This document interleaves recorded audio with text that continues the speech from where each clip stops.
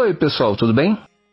Caso seja a sua primeira vez aqui no canal, considere se inscrever, curta o vídeo e compartilhe se você gostar do conteúdo.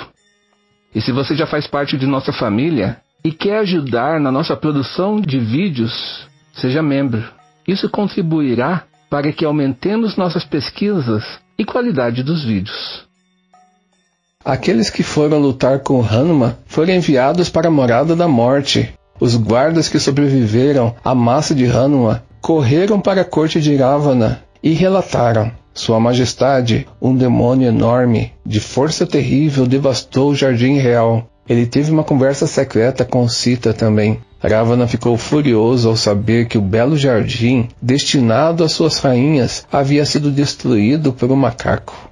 Seus olhos brilhavam como chamas gêmeas. Ele ordenou ao seu filho heróico chamado Akshay Kumar para liderar um enorme exército para capturar aquele macaco. Vendo o enorme exército de demônios vindo em sua direção, Hanuman arrancou uma árvore e arremessou com grande força no exército que avançava. Akshay e muitos outros guerreiros foram esmagados até a morte sob o terrível peso. O resto dos demônios assustaram-se ao ver o deus da morte em Hanuman. Ao ouvir que o príncipe havia sido morto por Hanuman, Ravana tremeu de medo e raiva. Ele chamou seu filho Indrajit e disse-lhe: Você dominou todas as armas.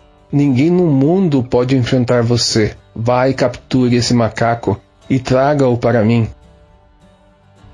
Montando em uma carruagem puxada por ferozes leões, Indrajit marchou em direção a Hanuman, vibrando as cordas de seu arco. Hanuman rugiu e expandiu o tamanho de seu corpo como se fosse uma grande montanha. Uma terrível batalha travou-se entre os dois guerreiros de habilidades e forças iguais. Todas as flechas de Indrajit falharam e provaram ser uma grande futilidade. Hanuman não poderia ser derrotado por nenhum movimento dele. Alarmado com a força e o poder de Hanuman, Indrajit não encontrou nenhuma maneira de derrotá-lo. Então enviou uma arma criada pelo Sr. Brahma, que era invocada por mantras, e também era o último recurso.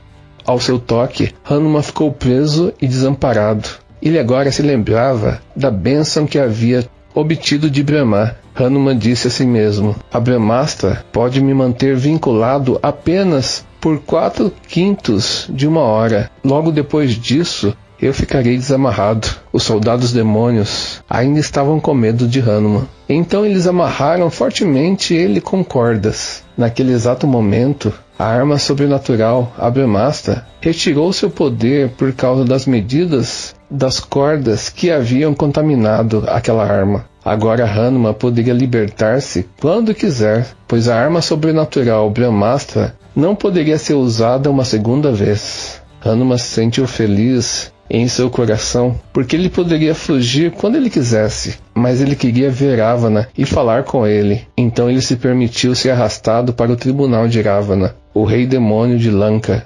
Enquanto ele passava, mulheres e crianças zombavam dele. Eles estavam destinados a pagar uma pesada penalidade devido a isso, pois haviam insultado um grande devoto do Sr. Rama.